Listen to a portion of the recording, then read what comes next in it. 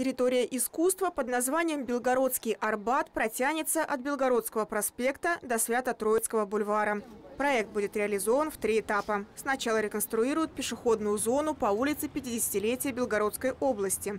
Исторический характер пространства будет сохранен, подчеркнула главный архитектор города. Рисунок тротуара останется прежним. Необходимо будет заменить 19,5 тысяч метров квадратных тротуарной плитки. И еще плюсом сделать отдельные участки в объеме 2000 метров квадратных из э, гранитной плит, э, плитки. Поэтому в этом году э, планируется заменить только вот эту центральную часть рисунка, где у нас будут установлены все малые архитектурные формы. То есть торшеры, лавочки, урны, указатели, информационные стенды, э, павильоны. Фасад здания на этой улице должен подчеркивать единство пространства, выдержанного в стиле классицизма.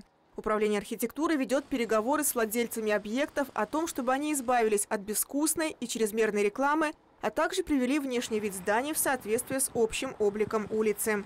Параллельно начались работы напротив кинотеатра «Победа». Эта территория перестанет быть проезжей для автомобилей. На этом участке была когда-то пешеходная зона и, и были яблоневые сады. Цель была ни в коем случае не потерять существующие зеленые насаждения, а наоборот их облагородить. Островки зелени, мы их все оформляем э, определенными конструкциями в виде лавочек, вазонов. Все это облагородит территорию, которой предстоит стать местом встречи белгородцев, неравнодушных к искусству. Архитектурный облик белгородского Арбата должен соответствовать предназначению.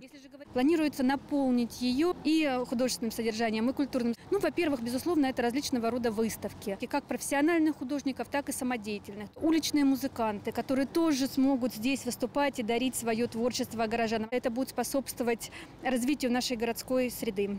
На этих двух участках работы обещают завершить к сентябрю. На это потратят около 53 миллионов рублей из средств городской казны.